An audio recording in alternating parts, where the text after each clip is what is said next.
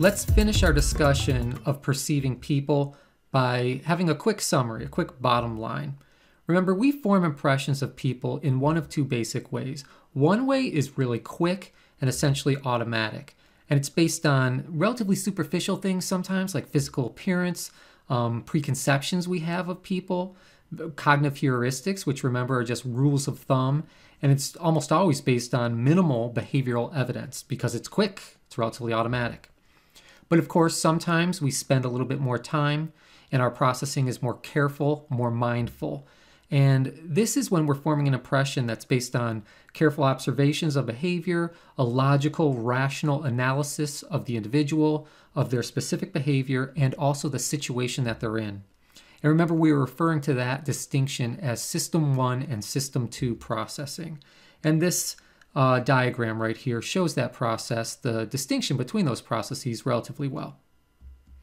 So, how accurate are our impressions? It's kind of tough to answer that question specifically, but I can give you some basic summary. We're accurate enough in general to establish and maintain relationships that allow us to lead happy, productive lives. So, I mean, in general, we do well enough. But remember, we talked about several problems. For example, we're overly influenced by superficial social information. You know, someone could be wearing the wrong clothes according to my own perspective, and I'm going to view them really negatively. We know that's superficial, and we know that can lead to serious bias. We often fail to fully appreciate situational constraints and forces. Remember, what's in front of us is the person acting, and that's the primary piece of information that we're using to draw impressions of people. But we're not necessarily fully appreciating why they're acting the way they are, because sometimes situational forces are very powerful and we don't see them. We cannot reliably distinguish between truths and lies. So, of course, in order to make sense of people, we need to be able to believe what they're saying. And we know that sometimes people are not saying truthful statements. We often focus on the wrong cues. We've learned that. If we're not able to distinguish between truths and lies, that's going to be a serious limitation in making sense of other people.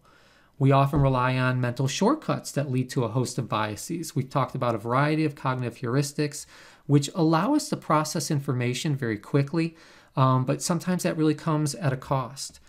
We know that our existing beliefs overly influence our social just, uh, judgments, and that can lead to confirmation biases, self fulfilling prophecies, and that's a real problem.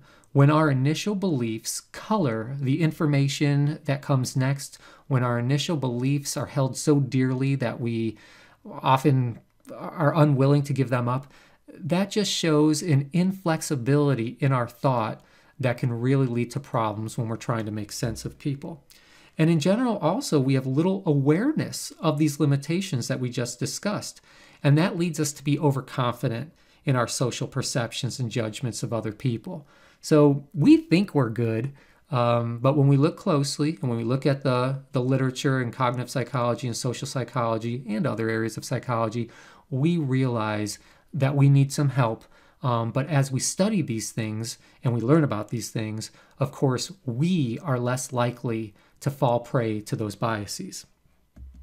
Now, there are some reasons to be optimistic. The more experience we have with each other, the more accurate our judgments are. So, if I know you well and I can now read you reasonably well, then I can make sense of you reasonably well, at least compared to other people that I have less experience with. So, that's one general cue that we should get to know people a little bit better, spend a little bit more time um, truly understanding where they come from. Our global judgments of others, so thinking about how others behave across a variety of situations, they're really not very good, but our specific predictions of how other people will behave in our presence tends to be better. And that makes sense because um, what goes on with another person right in front of us really affects us. So we probably pay more attention and we're simply more motivated to be correct.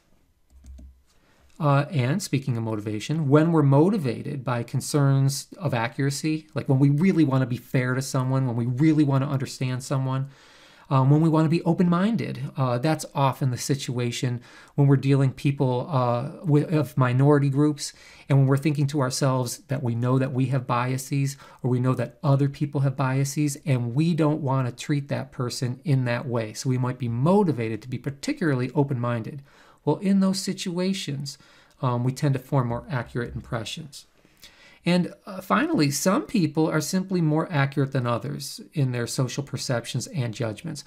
And that leads us to conclude that we should study those people. You know, we, we should figure out what's going on with these individual differences. Because if we can figure out why some people are more accurate than others, then of course we can teach that. So there are some reasons to be optimistic. Well, that's it for this section. So stay tuned because there's more social psychology coming up soon.